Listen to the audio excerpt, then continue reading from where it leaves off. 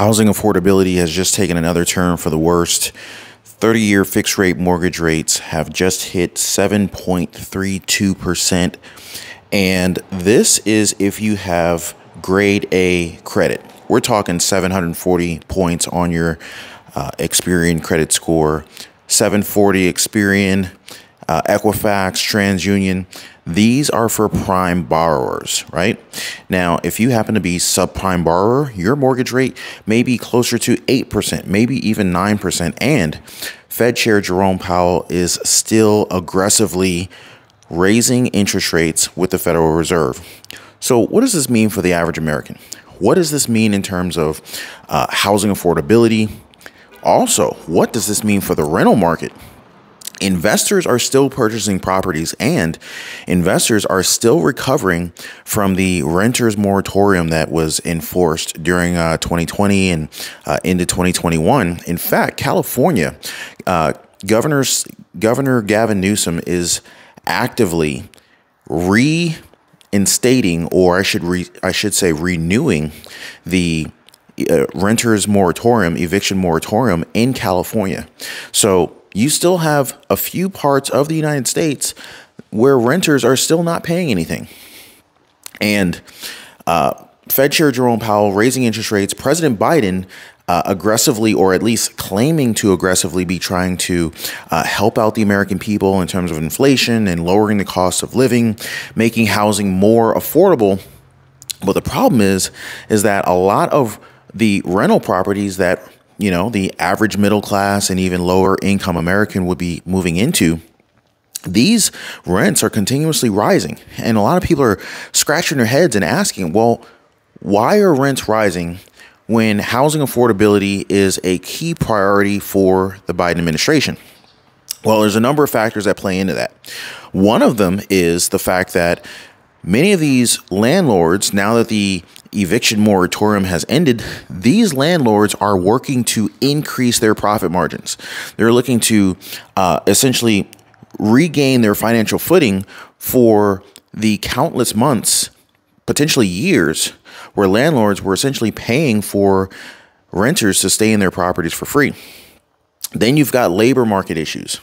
You've got labor market issues in terms of, okay, you have problems with your rental property. You have to get the property ready for the next tenant. Well, what happens when there's not enough labor to get the job done? Right now, we're on a job site, and right now we're experiencing a labor shortage right now. And it's kind of funny. It's like when you're watching HGTV or any type of uh, housing related uh, you know, do it yourself before and after kind type of program, you don't see all of the project. You, you get glimpses here and there, pretty much like in this video. You're seeing a snapshot in time of what is happening.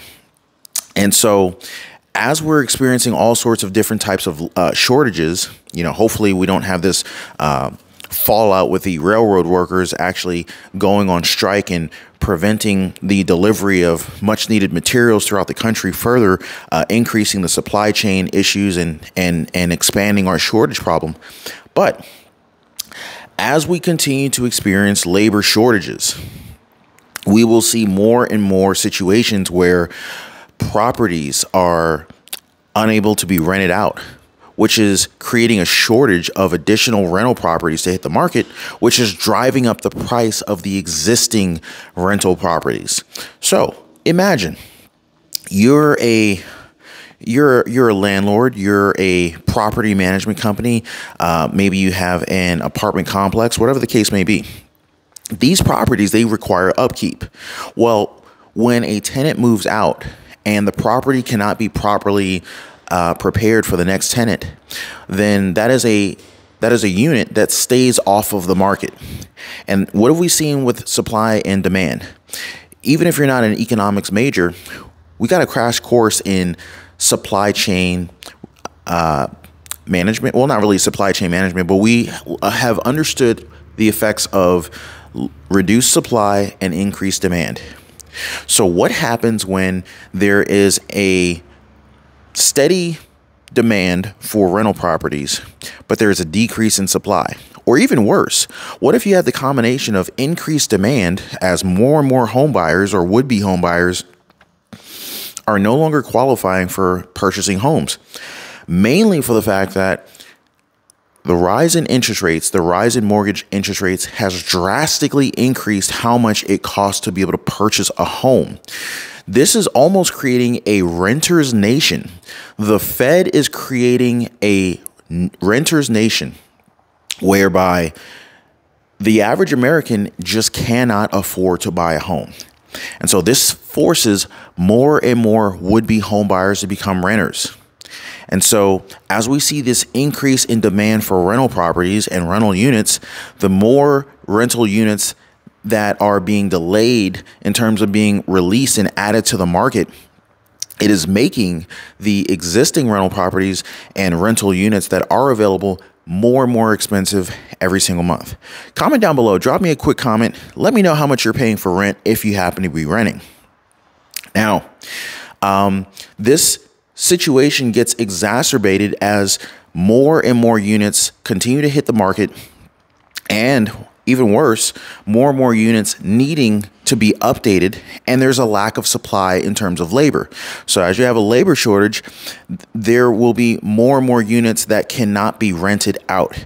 And so, then this creates this issue whereby the landlords or property managers are steadily trying to recoup the rental income that has not been had as a result of, of the rental property sitting on the market waiting for labor to show up.